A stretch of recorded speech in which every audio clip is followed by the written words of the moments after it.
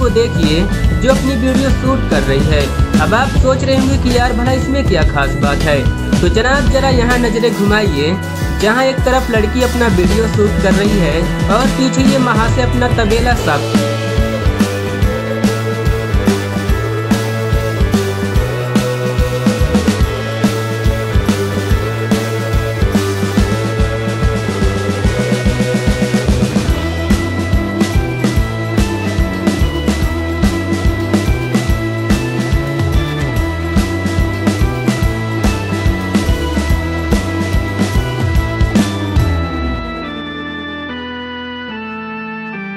अनोखा propose.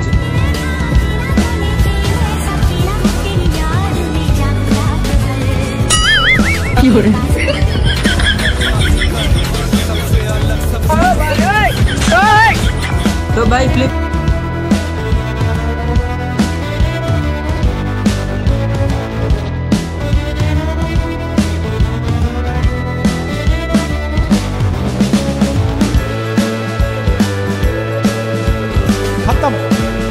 bye bye tata goodbye गया